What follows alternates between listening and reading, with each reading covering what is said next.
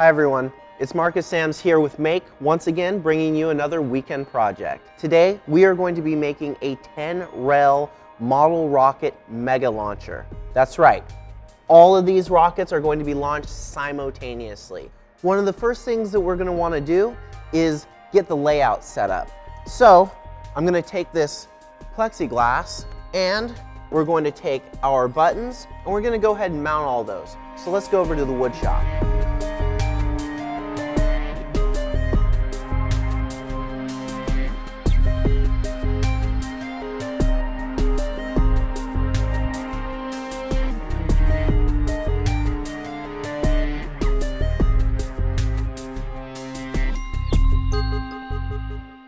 As you can see here, we've went ahead and cut our plexiglass.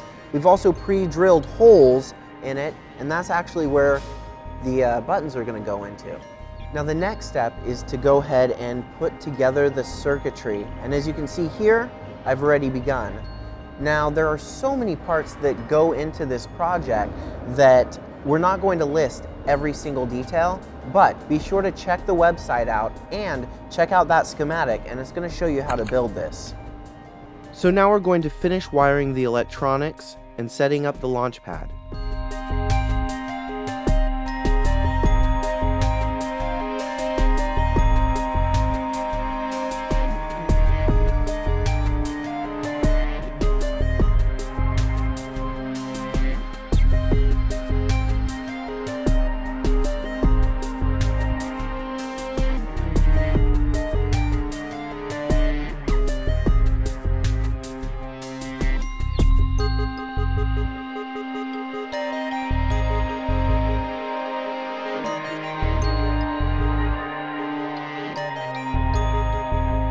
All right, so at this point we have our plexiglass board cut into three sections.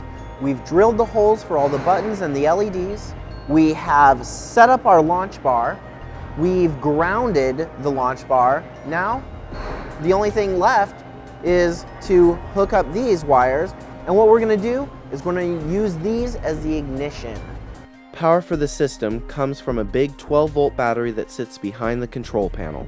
To connect it to the circuit, I used the numerous smaller wires inside the gray lamp cord and medium-sized clamps to attach each one to the battery terminals. Now we've modified this project a little bit to meet our needs.